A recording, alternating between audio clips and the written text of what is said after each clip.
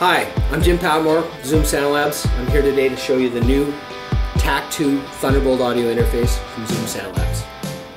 Um, Thunderbolt is the interconnection of the future, but it's here today. Thunderbolt is 20 times faster than USB 2.0, it's 12 times faster than FireWire, and it's two times faster than USB 3. It, data transfer rates are virtually instantaneous. The reason that that's a big benefit to musicians is latency is pretty much non-existent. Round trip at 44.1 kilohertz sample rate, it's 1.5 milliseconds in to out. It's brilliant.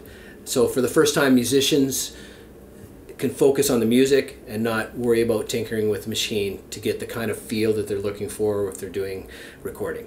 The other advantage of Thunderbolt is uh, it, this is the world's first bus-powered Thunderbolt audio interface, and that means it's completely powered off the Thunderbolt bus.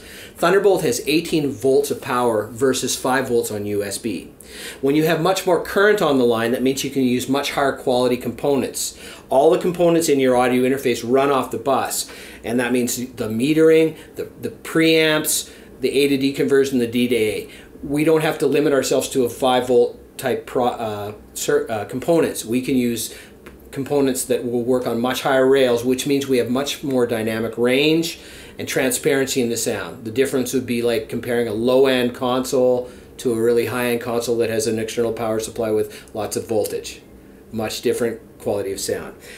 Um, we have stable phantom power if you're using condenser mics without the need to have a wall wart or any kind of external power supply. It's a very, very clean interface, really easy to use. You can select your inputs by just tapping on the unit, input 2, hold it for one second, turns the phantom power on and off. You got your main outputs on balanced, and then we have headphone outputs on the front. We have a Hi-Z input for plugging in guitars and basses, and uh, of course your, your combi jacks for, for microphones or line level instruments like keyboards.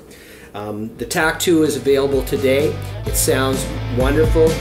If you're interested in checking it out, please come to Cosmo Music and check out the new TAC2 Thunderbolt interface for yourself.